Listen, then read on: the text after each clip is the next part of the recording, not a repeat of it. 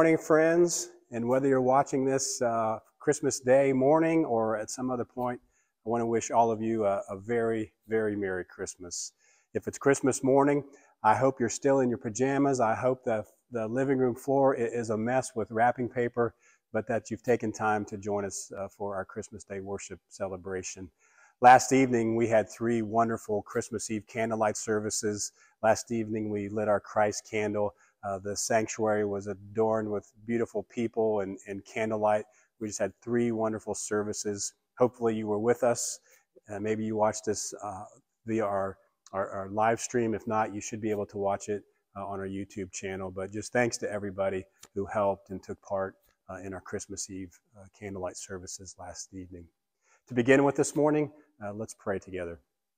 God, we just thank you for this morning and this day, what it means to us as people of faith that unto us uh, a Savior has been born, who is Christ the Lord. So, Lord, we rejoice. We just, we are so excited. Our, our hearts are just filled with joy. So, bless us this morning as we gather this Christmas day to worship and to praise you. And we pray this in the name of our Savior, Jesus. Amen.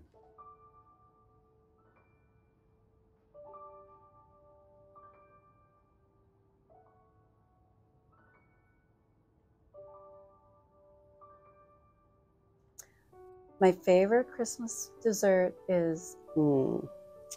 Ooh, pecan pie. I'm going to just say peanut butter pie. Uh, it was a recipe that my mom made, and it, I have her glass pie plate that she used to use. Sugar cookies. Oh, cookies. Cut out sugar cookies. Any cookies. Some like them like snappy. I like them a little bit soft. I remember the first time um, that my grandmother she made cookies and she let me dunk them in coffee, and that was been my favorite Christmas dessert since. And it's always fun the process of baking them with your family, with the kids, uh, decorating them, and of course eating them. And because you only really eat sugar cookies typically, you know, during some sort of festive season, that probably makes it a little bit extra special. So. My favorite Christmas movie is White Christmas. Well, there's a lot of great Christmas movies for sure. Well, there's so many of them, but I think my real favorite is um, It's a Wonderful Life. It's a Wonderful Life. Scrooge.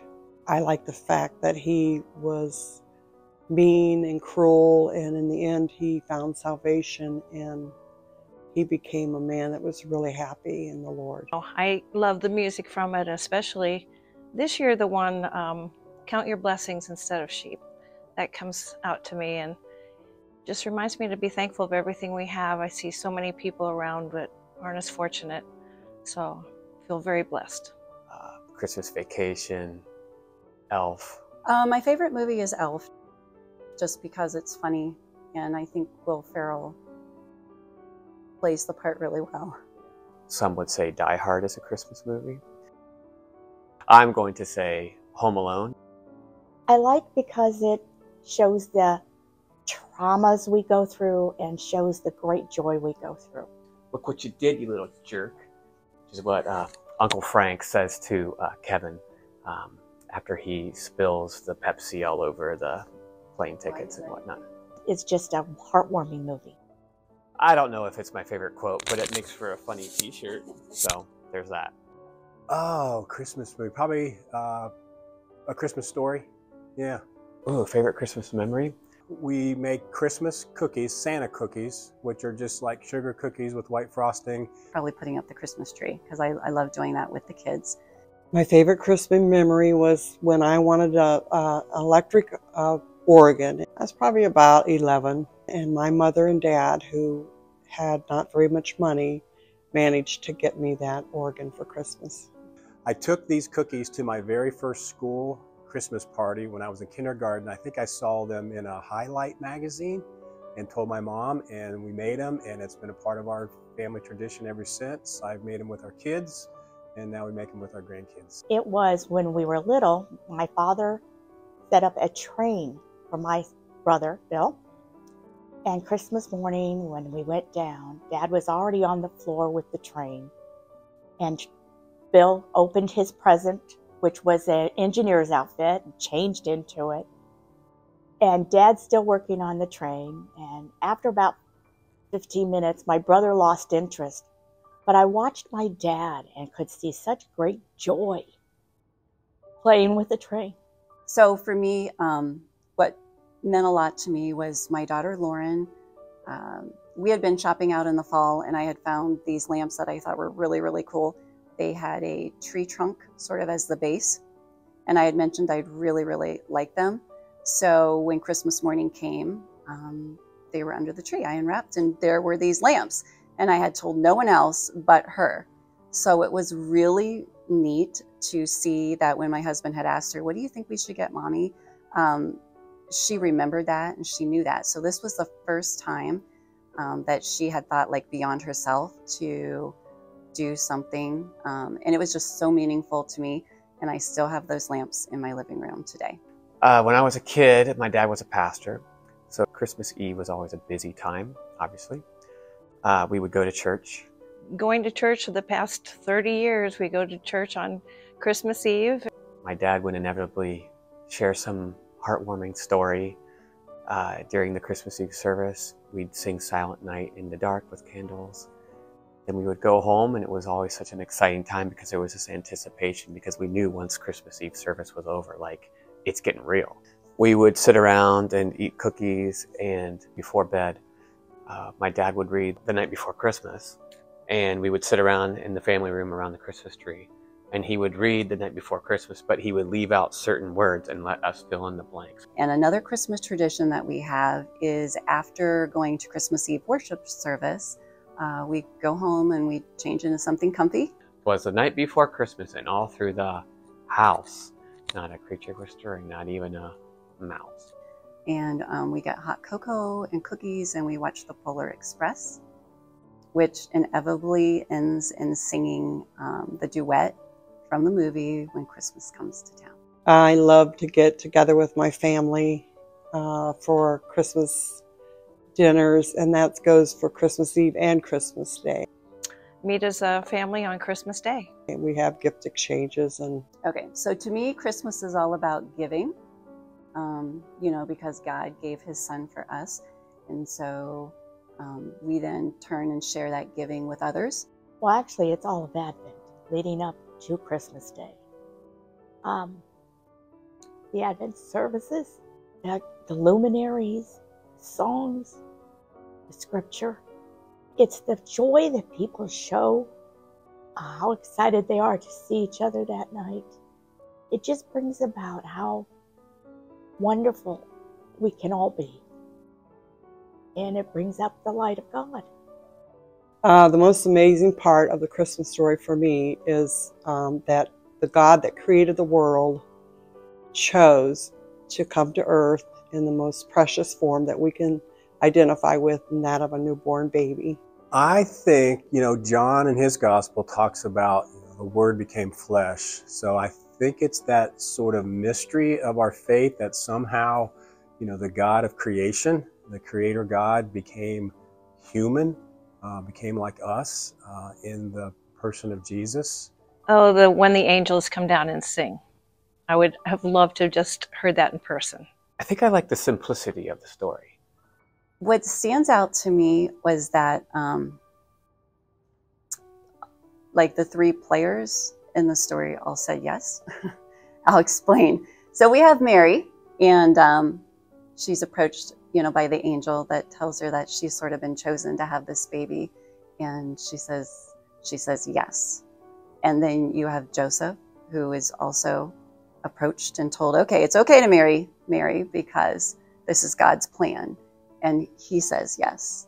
And then you have the shepherds who um, the angels come to them and say, hey, this baby's been born. You should really go and find him.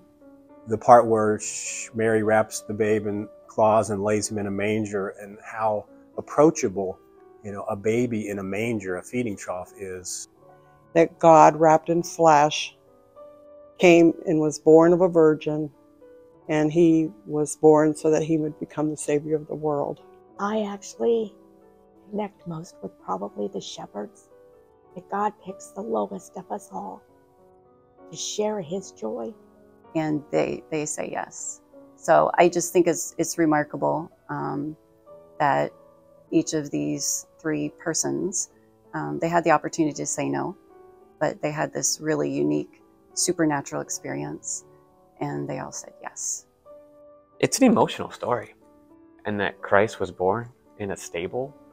You know, the way that it happens is not what you would expect, and it's not what you expect how a king would come in uh, to this earth. You know, a king born in a manger, you know, has uh, everybody has access, you know, to a, a barn or a manger. So it just speaks to me how God comes to us in such humble means. And maybe it's because God is reminding us of, of how humble his son Jesus is. And, and what a way for us to connect with the Savior. God brought man salvation that day. And that's why it's amazing to me. Uh, trying to tell us that, hey, I'm, I'm accessible. You know, I'm here. I'm like you.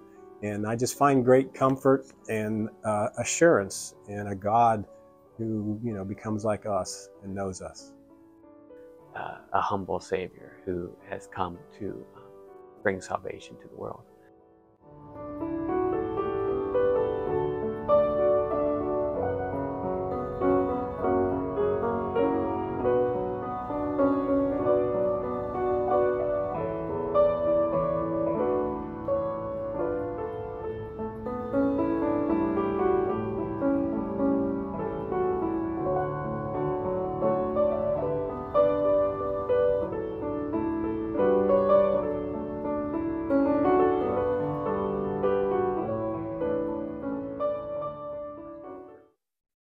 Friends, let's pray. Father God, again, we just thank you for this glorious morning. We just thank you for all that it is and all that it represents and just all the, the, the excitement and the joy that you are with us, that God is with us. Emmanuel, the Word became flesh and dwells with us. And Lord, that's so comforting. It's, it's reassuring to know that we have a God in heaven who knows what it means to experience this life, to, to walk this earth with all the highs and the lows, with all the joys and the sorrows. Thank you, Lord, that we have one in heaven who knows and understands each of us. And so, Lord, this morning I want to pray especially for those uh, who need your comforting touch, your peace, and your presence to be with them. Especially for those who there is an empty chair around the table.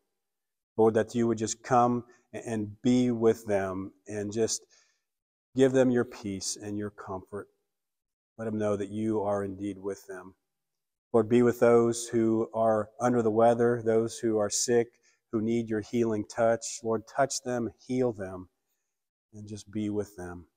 Give them your peace. Use us, Lord, uh, to send that card, to drop that note, uh, to make that call, uh, to just assure them that you are with them. So, God, again, we just thank you for this morning. Thank you for this day.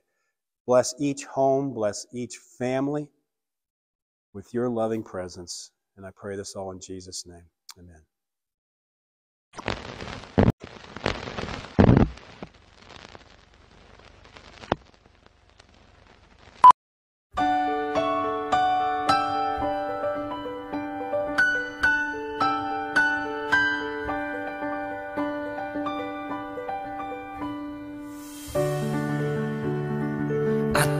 Christmas Day would never come.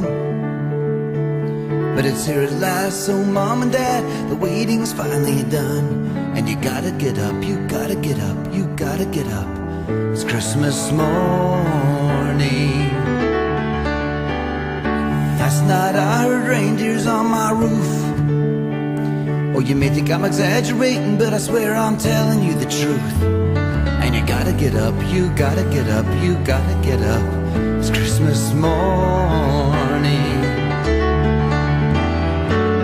Did my sister get a baby doll? Did my brother get his bike?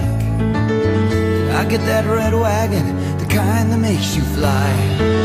Oh, I hope there'll be peace on earth. I know there's goodwill toward men on account of that baby born in Bethlehem.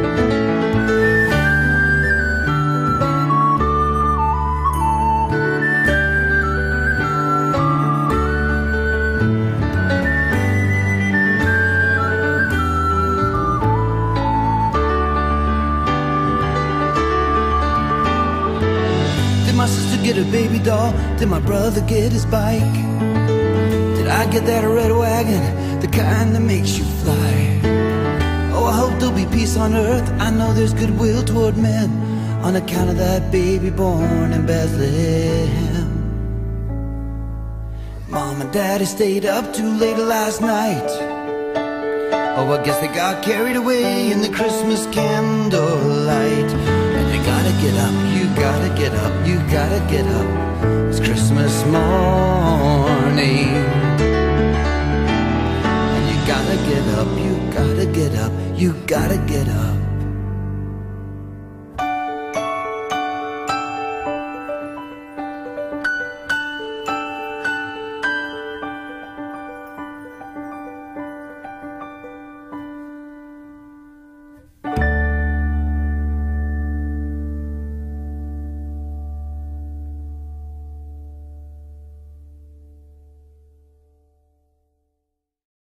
I want to begin my message this morning with the story of a father, and his heart was broken every Christmas. Many years ago, he had had a falling out with one of his children who left one day slamming the door in his face and saying, I don't want anything to do with you ever again. And the father had not seen his child since.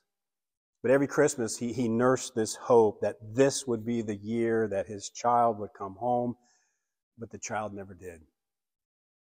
Then one year, the father decided to stop waiting and to take matters into his own hands. And it wasn't hard in the age of internet and social media to dra- track down his, his child. And so he made up his mind. He resolved that he was going to pay a visit, find his child, and hopefully be reconciled.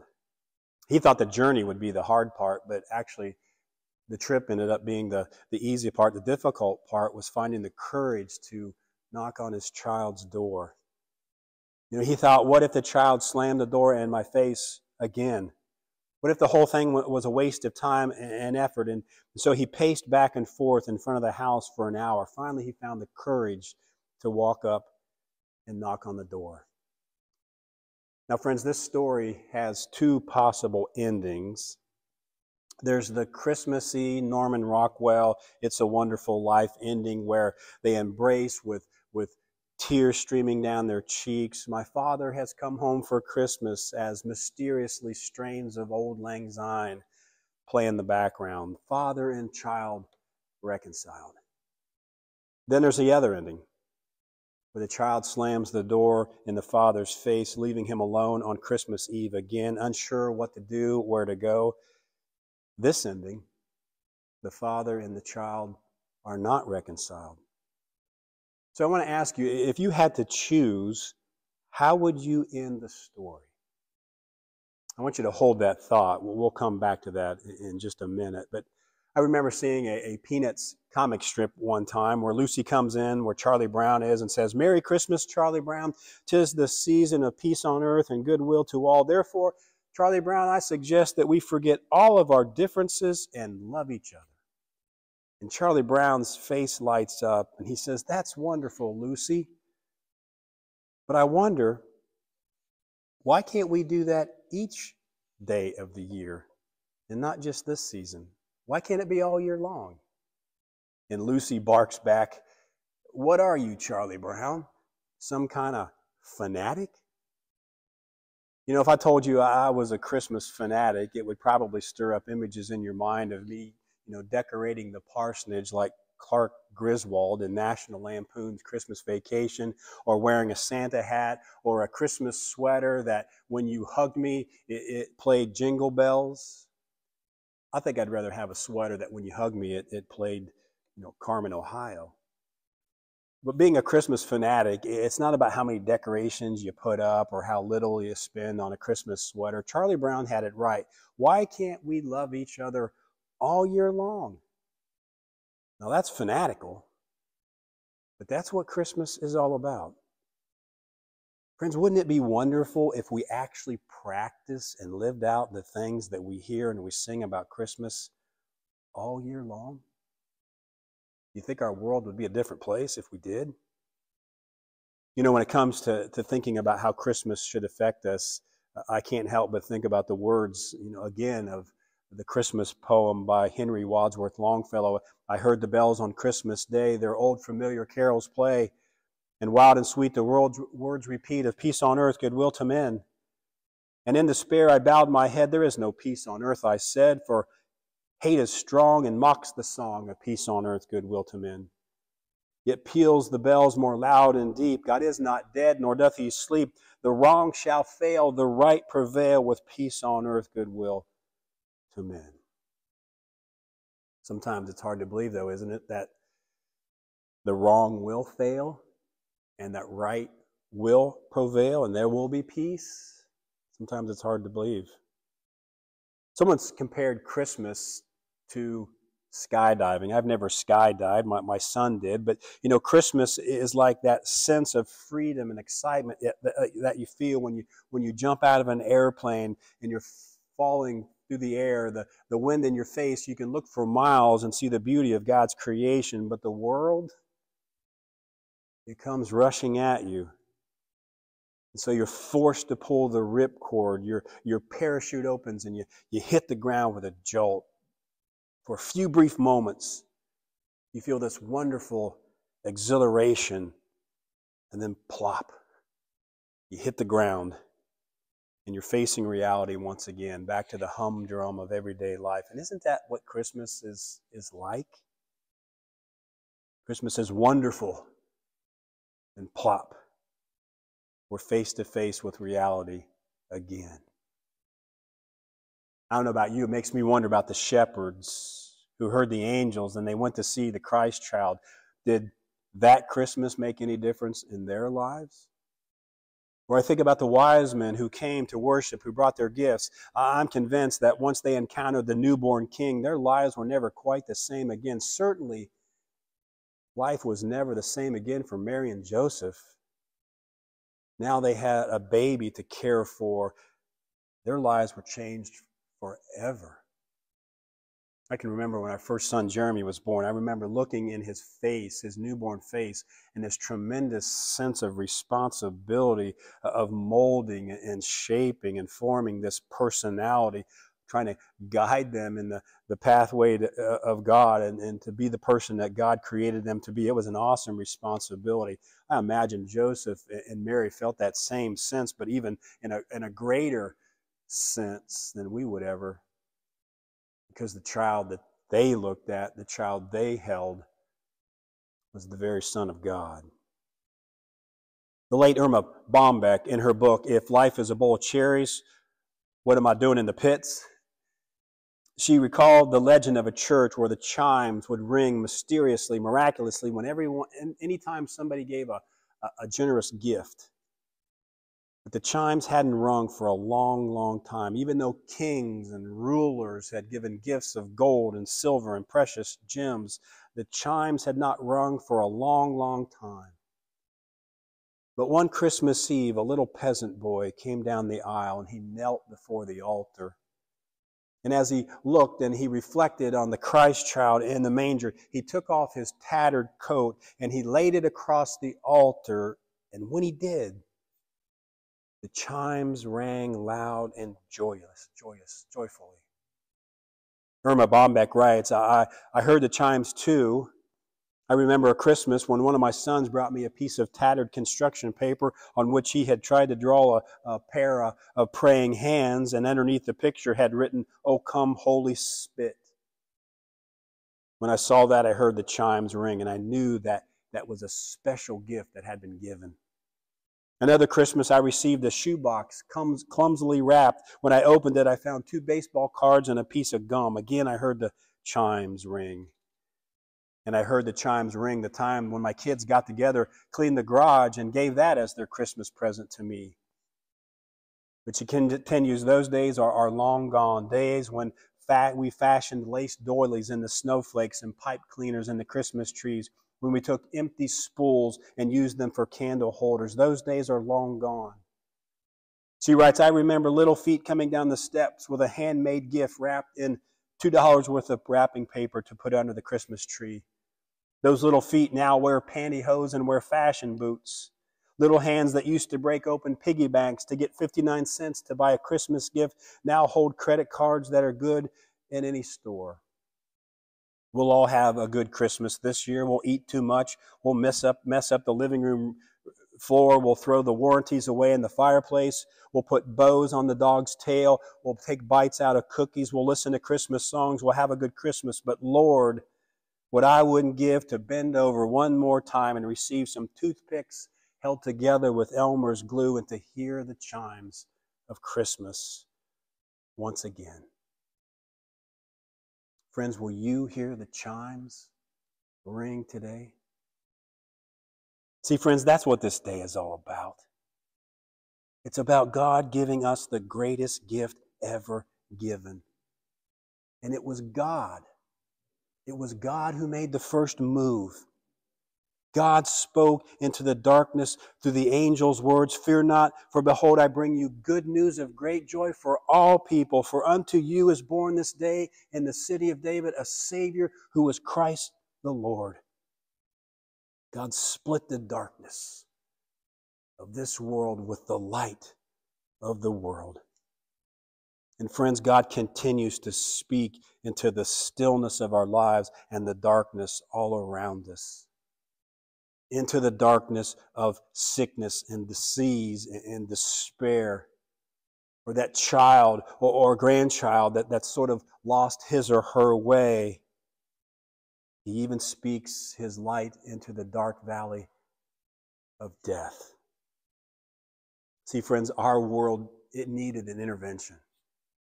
We need an intervention. And so God came to us through the incarnation and He intervened. Light has entered our darkness. Peace has come over our chaos. Life has conquered death. Fanatical, you want to talk about fanaticism? You bet. God started all the fanaticism. He was obsessively concerned with something or someone, us. He was filled with excessive and single minded zeal to bring us back, to reconcile us to himself. His fanaticism, it wasn't about controlling, but offering. Not about dominating, but inviting. Not about demanding, but calling. Not about forcing, but freeing. And Charlie Brown was right, man. It's a fanaticism of loving each other, not just during the Christmas season, but all day long. I'd say that's fanatical. You know, the shepherds heard the angels and they went to see the baby Jesus. The wise men, they saw the star and they came to offer their best. Were their lives changed? Forever. Were Mary and Joseph's lives ever the same again? Absolutely not. The message of Christmas has been changing lives, my friends, ever since. Howard Thurman wrote, When the songs of the angel, angels is stilled, when the star in the sky is gone, when the kings and princes are home, when shepherds are back at their flocks, the real work of Christmas begins to find the lost, to heal the broken, to feed the hungry, to visit the prisoner, to rebuild the community, to bring peace between brother and sister, to make music in the heart. That's the work of Christmas. For friends, God was reconciling the world to himself in Jesus Christ, not counting our sins against us, and he's committed us to this message of reconciliation. We are God's ambassadors, as if God were making his appeal through us. Therefore, Paul says, be reconciled to God. For God made him who knew no sin to be sin for us, that we might be the righteousness of God. And to be righteous, my friends, it means to be reaching out, to be reconciling. We'll take down the Christmas tree, we'll put away the directions, the, the decorations. The songs may linger, but may we take the message of Christmas with us wherever we go into this world to change the lives of people we meet. You know, John tells us in his gospel that, that God became human. In the beginning, he says, was the Word. The Word was with God. The Word was God. John says that the Word is the creator of all things, the universe, made it all. And then John continues, the Word became flesh and made his dwelling among us. The Creator God became like us. Friends, it's so crucial, it's so important. Without understanding that, that, that Jesus, the, the Christ child, Jesus the man, is God wrapped in human flesh. God crammed as much of his being as he could in a human being, and that person is Jesus. And if we miss that, we miss the rest of the story. We miss the whole point. The Word became flesh and dwelt among us. God became human. Why? Well, the answer is the same answer that drove that father in the story I began with to his child. He wanted to be reconciled. It's kind of a throwaway line in that great Christmas carol, Joy to the World, but it says, God and sinners reconciled. That's what it's all about, friends. There was an estrangement, there was a falling out. See, the child in that story I began with? It's you. It's me. Human beings turned our backs on God, ignored his, his, advice, gave in to our own sweet way, slammed the door in God's face. And that's the reason why it was necessary for God to become like one of us. God went looking for his lost child. God marched right into our world and said, Here I am. Do you want to, do you want to make up? Follow me. Embrace my way. Take hold of my life. And he said it to everyone. Everyone. He said it to the people who thought they were good, who thought they were religious. He said it to people who knew they were dirty scoundrels and sinners. John tells us that the people either received him or they didn't. And some of the religious people wanted nothing to do with him. In fact, John says he came to his own and his own received him not. But the other people received him. And they got the happy ending. Yet to all who received him, to those who believe in his name, he gave the right to become children of God, children not born of natural descent or a human decision or will, but born of God, born again by the Spirit of God. They were reconciled. And friends, today we all face the same choice Jesus reaches out to us as he did then. There's this wonderful image of Jesus in the book of Revelation. He's standing at a door and he's knocking, and he says, Behold, I stand at the door and knock. If anyone hears my voice and opens that door, I will come in and, and commune with them and, and, and be with them. And that's the choice we all face. Do we open the door? Or do we leave it closed?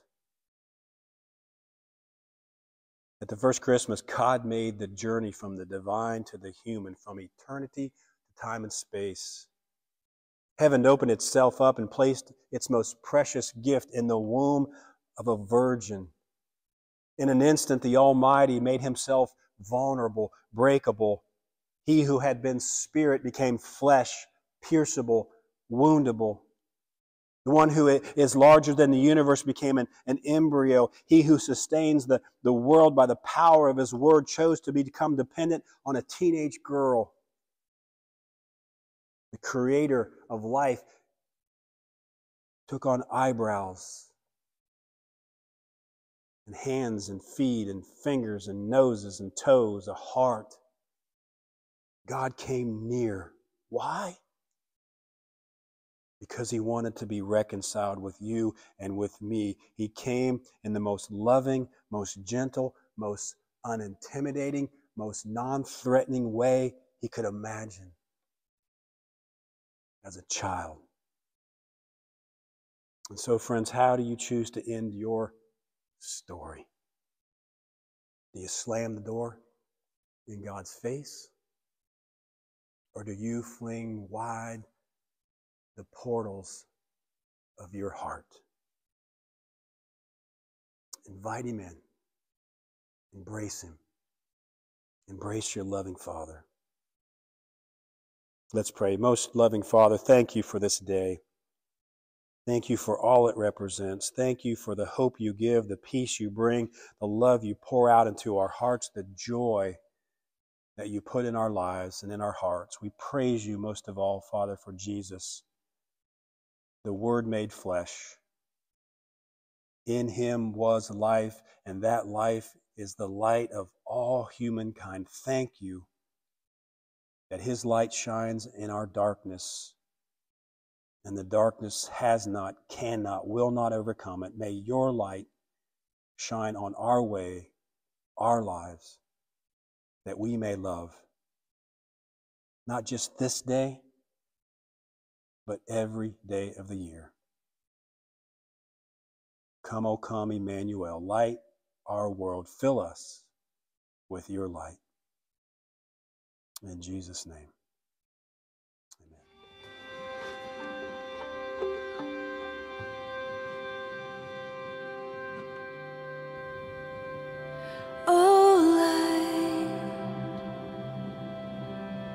To reconcile. Come in like a child. Holy night,